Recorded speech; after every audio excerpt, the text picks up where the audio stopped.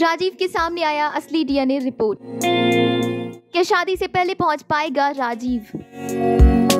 Colors TV show पर नीति के अपकमिंग एपिसोड में हम सभी देखेंगे कि शादी की कुछ सामग्री मिसिंग है। ये सामग्री लाने के लिए राजीव जाता है। कि तभी रास्ते में राजीव को ये पता चल जाता है कि असली डीएनए रिपोर्ट कहाँ है और असली डीएनए रिपोर्ट में क्या लिखा हुआ है।